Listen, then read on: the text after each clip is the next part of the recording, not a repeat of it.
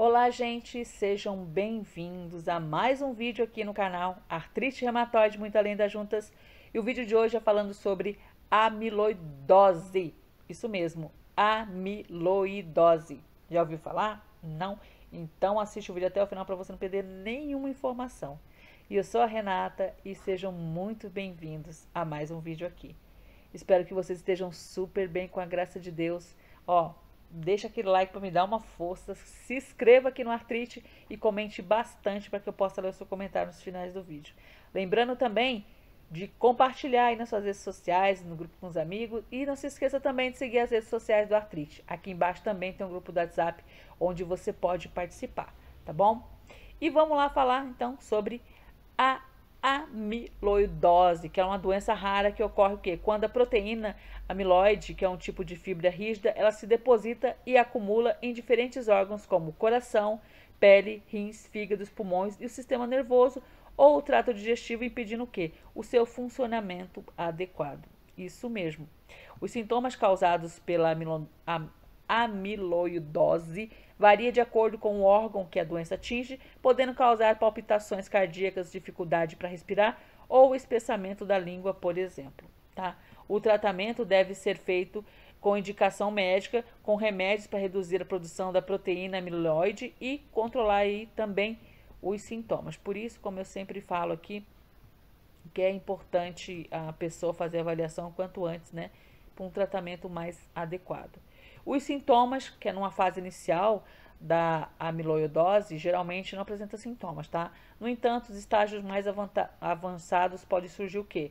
O inchaço nas pernas, nos tornozelos ou nos pés, fraqueza e cansaço ao realizar pequenos esforços, falta de ar durante o esforço físico, em repouso ou quando se está deitado de costas. Tem palpitações cardíacas, formigamento ou sensação de picadas nas mãos e pés, dor no pulso, principalmente durante a noite, perda de peso sem causa aparente, diarreia com sangue ou prisão de ventre, urina com espuma, espessamento da língua, dificuldade em engolir, rouquidão, sangramento ou hemorroidas na pele, tá?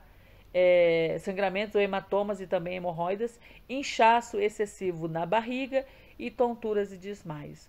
É importante consultar o clínico geral para que quando surgir sintomas, para poder que façam, façam suspeitas aí da amiloidose, para que seja feito um diagnóstico, gente, iniciar o tratamento mais adequado, de uma forma de prevenir danos graves nos órgãos afetados, né? É, o diagnóstico ele é feito pelo clínico através de avaliação dos sintomas e exames de sangue e urina, que vai ajudar a detectar a presença da proteína amiloide, tá? Além disso, o médico pode realizar uma biópsia que consiste em retirar uma pequena amostra do tecido do órgão afetado, como coração, fígado ou rins, por exemplo, para poder detectar, determinar é, o tipo de proteína amiloide, tá? Outro exame que o médico pode solicitar também, gente, que é muito importante para poder avaliar os danos órgãos, são, a, são o ecocardiograma ou a ressonância magnética, por exemplo. Em relação às causas, da amiloidose, ela é causada pelo depósito de proteína amiloide nos tecidos e alguns fatores aí podem contribuir para esse desenvolvimento da doença, como que a idade, o sexo, a presença e outras doenças ou histórico familiar. De acordo com a causa, a amiloidose ela pode ser classificada como amiloidose primária, tá, gente? Que é chamada de amiloidose de cadeia leve. Ela é causada por alterações nas células plasmáticas do sangue, sendo muito comum em pessoas com, com mieloma múltiplos. Nos estágios mais avançados, esse tipo de amiloidose pode afetar o funcionamento dos órgãos como os rins, a pele, o coração, fígado ou nervos, por exemplo.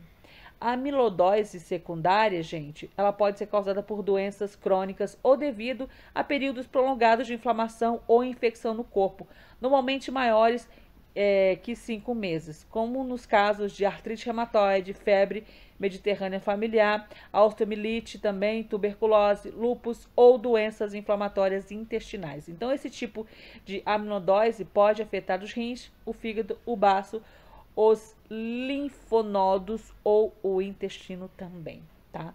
No caso da amilodose hereditária, também chamada de amilodose familiar, ela é uma forma de doença causada por uma alteração do DNA do bebê durante a gestação, levando que a produção de uma proteína anormal no fígado chamada de transtirretina, gente, que acaba acelerando principalmente o sistema nervoso, o coração e os rins, tá? Geralmente os sintomas desse tipo de amilodose ele inicia na idade adulta, a partir dos 50 anos ou durante a velhice. Mas há também casos em que os sintomas nunca aparecem e a pessoa nunca descobre que possui a doença.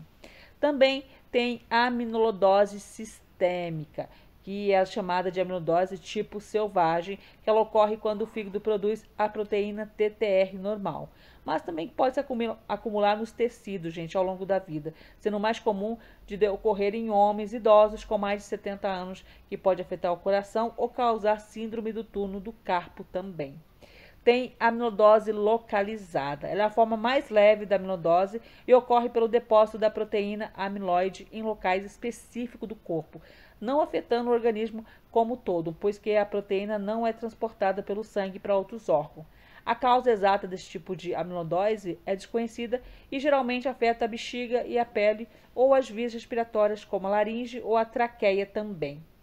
Em relação ao tratamento, tem, ele tem como objetivo controlar os sintomas da doença e, de acordo com o órgão afetado, podendo incluir o uso de antihipertensivos, anticoagulantes ou diurético quando a amilose afeta o coração.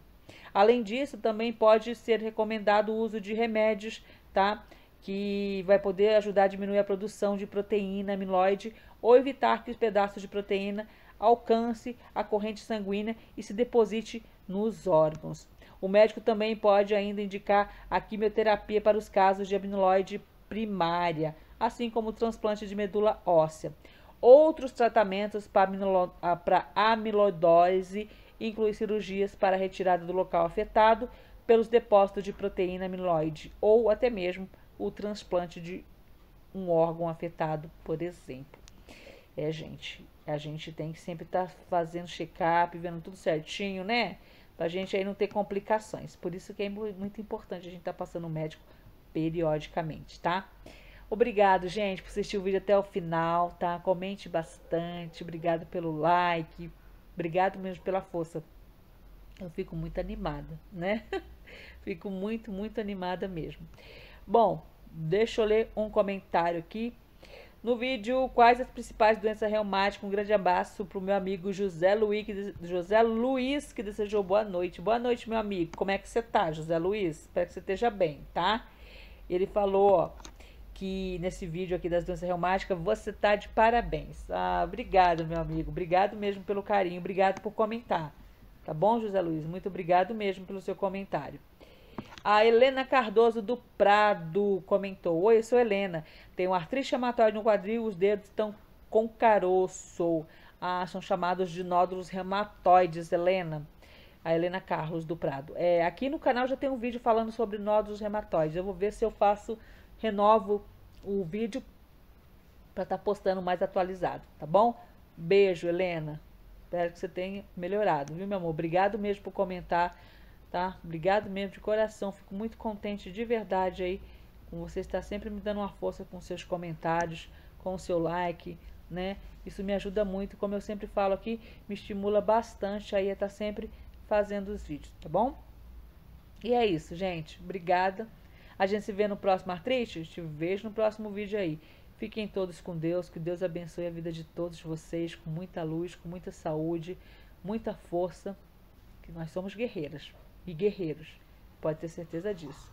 Lembrando que, ó, tem aqui embaixo todas as redes sociais do Artrite, principalmente o grupo da WhatsApp, eu sempre tenho que falar que tem muita gente perguntando. Gente, é só clicar aqui embaixo na descrição que você encontra lá o link de convite. Um beijo no coração, fiquem todos com Deus e até o próximo. Artrite reumatoide, muita lei das juntas. Tchau, tchau.